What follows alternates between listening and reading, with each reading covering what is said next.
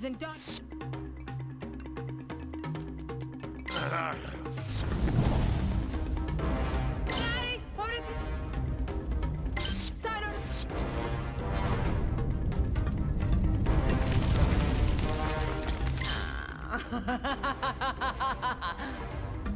Ha ha ha!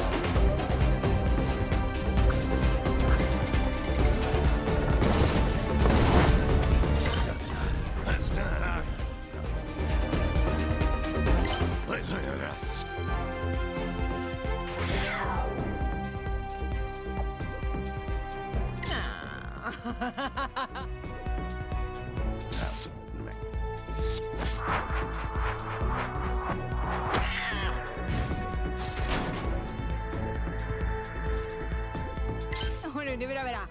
Este lugar